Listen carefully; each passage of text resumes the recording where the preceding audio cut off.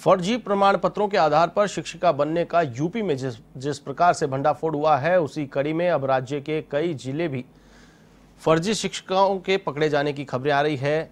इस कड़ी में रविवार को अलीगढ़ के पाली मुकीमपुर थाना क्षेत्र के इलाके में बिजोली ब्लॉक के कस्तूरबा गांधी स्कूल में अनामिका शुक्ला के नाम से नौकरी कर रही बबली यादव को पुलिस ने गिरफ़्तार किया है। कानपुर देहात निवासी बबली यादव को फर्जी प्रमाण पत्रों के सहारे अनामिका शुक्ला बनकर टीचर की नौकरी हथियाने के मामले में कई धाराओं में गिरफ़्तार किया गया है।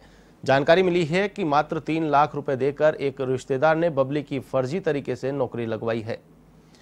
साल 2019 से यह नौकरी कर रही थी अलीगढ़ के क्राइम ब्रांच के एसपी डॉक्टर अरविंद कुमार ने बताया कि बबली ने ऐसे कई फर्जीवाड़े की जानकारी दी है।